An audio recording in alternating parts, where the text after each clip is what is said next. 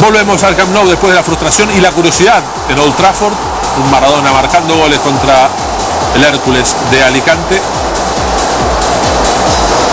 Otro día de Diego goleador, celebrando allí con Carrasco, con Schuster, con Migueli, con Marcos. Primer tiempo, el primer gol, el empate, el Hércules llegaría después y antes del cierre del encuentro, la diferencia final que va a terminar marcando por aquí Diego Maradona, un rebote, un amague, el zurdazo letal. Diego, otra vez goleador, para un Barça que llegaba a la final de la Copa del Rey 84.